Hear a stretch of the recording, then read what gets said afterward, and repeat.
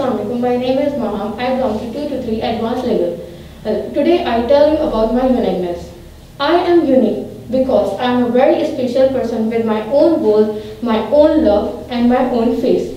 There would no book to open our mind and no painting to open our creativity. Deposit how far we have to progress. Still, we have to get at one foot out the door in coexisting with each other. That's why we still judge behind the people's back without getting to know them. Share your uniqueness among your friends, family and pupils. And think in your home, are you unique? Think yourself, are you unique? And tell me in my comment section.